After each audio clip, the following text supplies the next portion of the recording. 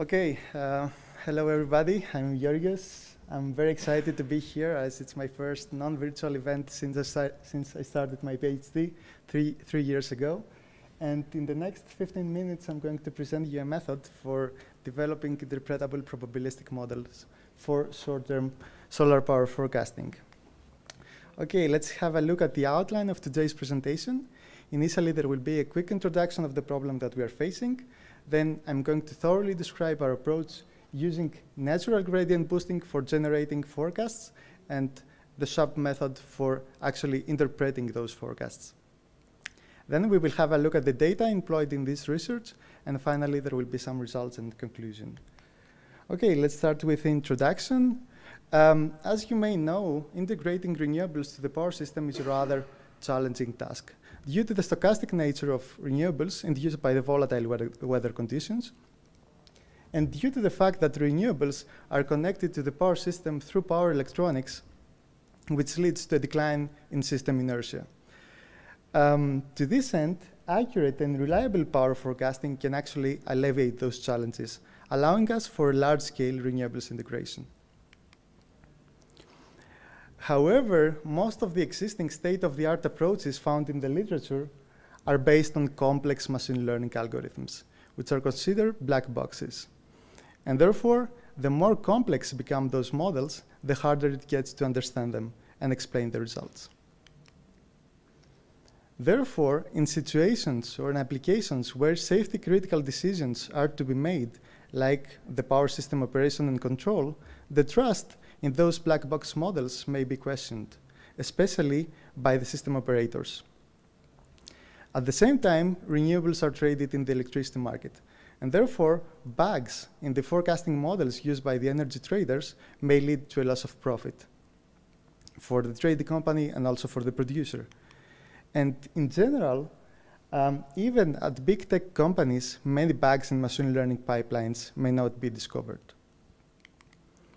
To tackle this issue, we propose a two-stage forecasting approach, where in the first stage, we propose the application of the natural gradient boosting for yielding probabilistic PV power forecasts. And to do so, we use as input data some temporal data like information about the month, some weather forecasts, and three lag power values. The power generation, 15 minutes, 30 minutes, and 45 minutes before. And as you can imagine, we have uh, 15 minutes um, granularity in our dataset. In the second stage, we calculate the Shapley additive explanation value, which is, which is the unique, consistent way um, for provi providing explanations about the model predictions. Therefore, we can actually um, decode, let's say, the trained model and as a result, we can identify some learned physical properties. When we can explain all individual predictions, um, we can detect possible bugs in our machine learning pipeline, and eventually we can gain trust in the model. So, as already mentioned, we apply the natural gradient boosting in the first stage. And as its name implies, it's a, it, uh, it is a gradient boosting algorithm for solving uh, probabilistic regression problems. And as the rest of the gradient boosting algorithms is based on the sequential training of several base learners. Um, now in its general form, um, the algorithm comprises several base learners, um, which are tried to estimate the parameters theta of a parametric probability distribution P of theta given our dataset. In our case, we are using the normal distribution, but we've tried out a lot of them. Um, and finally, we have we need to evaluate the predicted distribution. So we have a scoring rule, um, which can be seen as equivalent uh, cost function in the classical machine learning. And to train this model, um, there is only one option, which is the natural gradient, but I will not go into the details of that. Okay, um, and yeah, maybe for the base learners, we use shallow decision trees. Now, in the next stage, um, we, we calculate the SHAP values in order to interpret the model predictions. But um, what do we actually mean by interpreting model predictions? Um, so model interpretability is usually defined by a set of feature attribution values that quantify um, the influence of each feature on the model output. So those are a few values that um, indicate how much each feature contributed to the final result. And the estimation of those values can be seen as a cooperative game theory problem, where each feature contributes differently to the game. Um, in other words, uh, let's assume that we have a team of young engineers um, who participated in a Kaggle competition. They got the first prize, and they want to split the money uh, based on their contribution. Now it has been theoretically proven that there is only one unique solution for a fair contribution. And this is by calculating the SHAP values, which express how much each player contributed to the final reward. Now, if we substitute um, each player with the corresponding features of the model and the total amount of money that the team got with the model prediction, we will end up having the same problem set up. Okay, but how can we actually calculate those SHAP values? Um, to do so, we observe how the model behaved. Sorry. How the model behaved with and without a specific feature. And we do this for all possible feature combinations. Now, as you can imagine, this results in a very challenging calculation, uh, which increases exponentially as the total number of features increases. Now, fortunately for us, um, the guys at the University of Washington proposed a method which allows, uh, allows us to calculate the exact, the exact SHAP values in polynomial time instead of exponential time, but only for tree-based models. And now let's go back to the, to the problem that we have, the application, um, and let's have a look at the data. Uh, we use time series data from two PV parks located in southern Germany. Um, the time resolution is 15 minutes, and we are forecasting day ahead, meaning that we start forecasting at noon today, and we, um, we forecast for the next 36 hours by performing recursive multi-step ahead predictions of uh, 15 minutes interval. Uh, the training set comprises one year of data, and uh, the test set we test over the next month. Um, we discard the night hours since there's no PV generation, there's no sun. And importantly, the input, the input features that we're using are some weather forecasts, and in particular, uh, temperature, re relative humidity, precipitation, wind speed, and solar radiation. Um, we use some temporal data um, and in particular the information about month and the time of the day and the three lag power values. Uh, the power generation 15 minutes, 30 minutes, and 45 minutes before. Those are the autoregressive terms. And finally, we map the cyclical month variable onto a unit circle in, in order to ensure con the continuity of the month. Um, and now let's have a look at the results. Uh, just really quick, uh, in order to evaluate the performance of NGBoost in uh, probabilistic PV power forecasting. We compare it with um, two probabilistic machine learning approaches, the lower upper bound estimation, the Gaussian process. Um, so here we can see the average root mean square error and the continuous rank probability score, um, which is a metric for evaluating the predicted probability distribution as a whole um, for a test month during spring, summer, autumn, and in winter.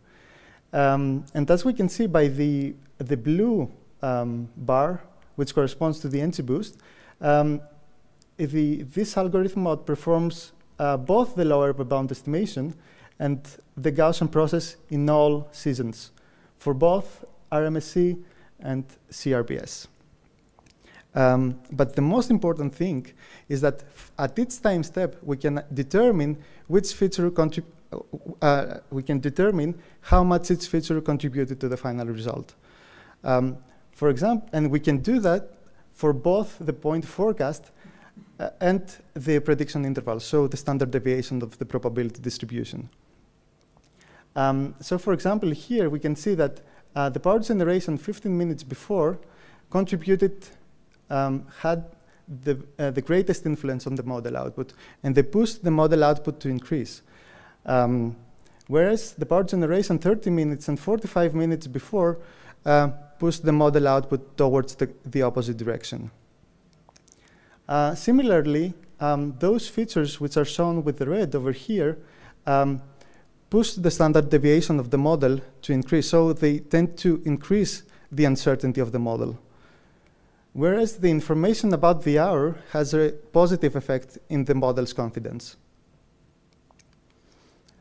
Okay, now if we combine all the individual explanations together, we will end up having something uh, called the SHAP summary plots, which provides a detailed insight about the model, about what the model has learned in particular. So what do we see here?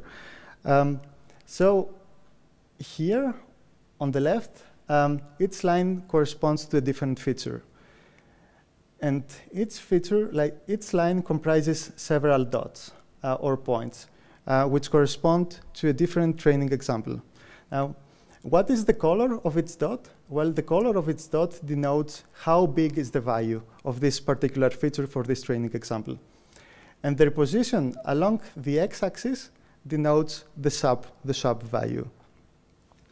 So, for example, um, those, um, those points over here correspond to high t minus 15 values. Why high? Because they have this reddish color.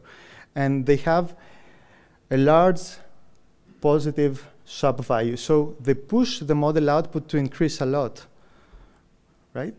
And here, on the contrary, the low t minus 15 values, why low? Because they have this blue color, um, have a negative SHAP value, So they push the model output to decrease. And it's really reasonable, right? Because if our PV park is generating a lot of electricity, then it's very likely to continue doing so in the next 15 minutes and vice versa.